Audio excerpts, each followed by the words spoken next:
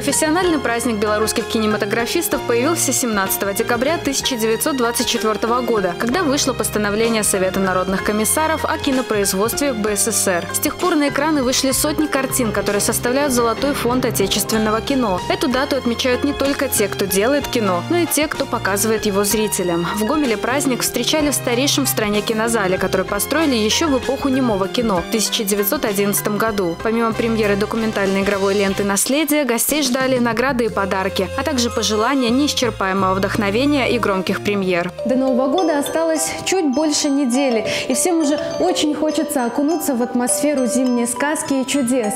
Снега за окном пока не видно, а вот экспозиция Дворца Румянцевых и Паскевичей уже успела пополниться настоящим белым чудом, и имя ему – фарфор.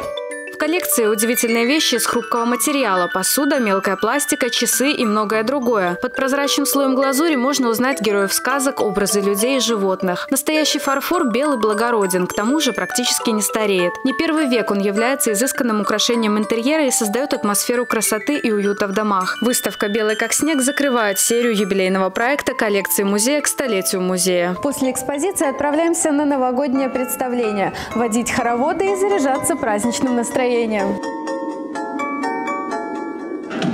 А сказки все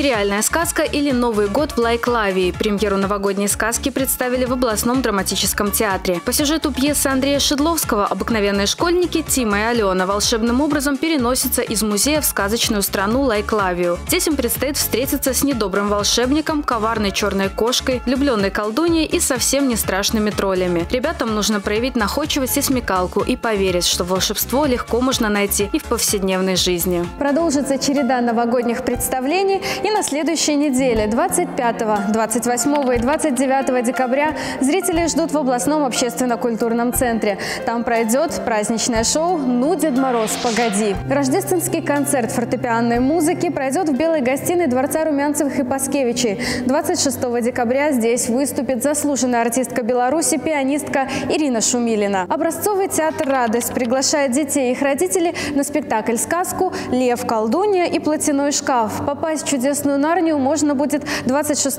и 27 декабря в городском центре культуры. Здесь же пройдут танцевальный рождественский вечер и программа с верой, надеждой, любовью. Самыми интересными культурными событиями региона вас знакомили Анна Кравчук и Игорь Марищенко. Обзор подготовлен специально для программы «Новости недели».